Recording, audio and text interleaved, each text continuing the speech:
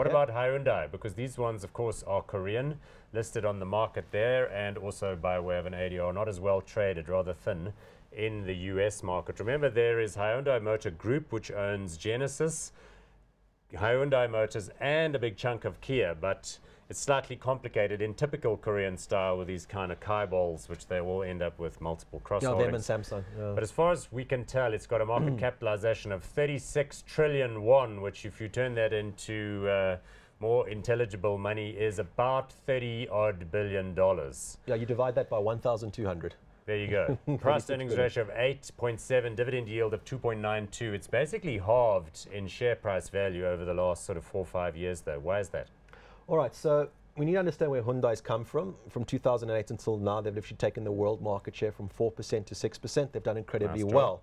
Very, very nice job. So kind of hit a bit of a brick wall at the moment, and this is where my whole concept of competition coming into account. So Hyundai, Hyundai, Hyundai, however you want to pronounce it, major, major uh, market leader in uh, South Korea. Uh, another big market for them is America, and American sales have been disappointing tremendously. Do they lead into that market with the Genesis high-end stuff, or more with the i10s, i20s, i30s type It's stuff? more the SUVs, and this Ah, is where the problem the comes Tucson in. and the Santa Fe. The Tucson, the Santa Fe, the iX35, whatever we want to call it, even the uh, Sportage. Okay. Um, they don't have enough models within that market. And I think what we need to understand, the world is moving away from mid-sized family sedans to more upmarket SUVs or mid-sized compact Yeah. SUVs or very, very, very small cars. Okay. And they operate in that lower end where you have your family-sized sedan, essentially, and that's actually taken quite a knock.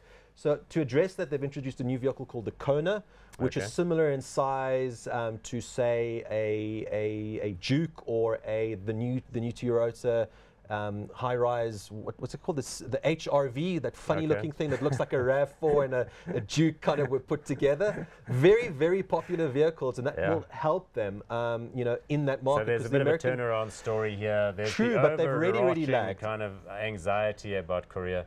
Listen, we've run out of Oh, time. have we? Hot oh, not goodness. on No, not hot. Um, you know, stewardship, you know, I mean, the CEO was charged and convicted of embezzlement. Uh, it's just not a good Oh, picture, in my opinion. uh, the vehicles are great. They've done a lot, but there's just not enough Yeah. catalyst here for me to become excited at the moment. So I'm not hot on Okay. Hyundai We'll at the moment.